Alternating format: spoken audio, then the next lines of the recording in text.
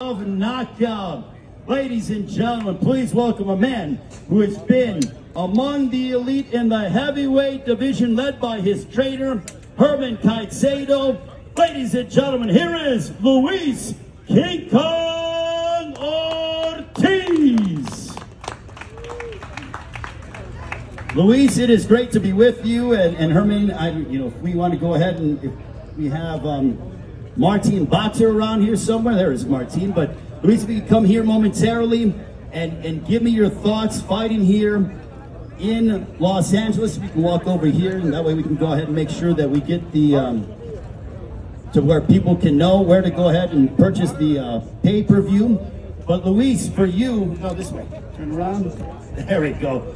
Well, he's looks very athletic already and set, ready for battle. But Luis, tell us your thoughts. Andy Ruiz on Sunday, the main event, Fox Sports PBC pay-per-view. How excited are you for this matchup? Bueno, contanos cómo te sentís de cara a esta gran pelea por Fox Sports PBC Pay-Per-View. Bueno, ya lo que queda es esperar al domingo para la guerra. All that's left is wait for Sunday.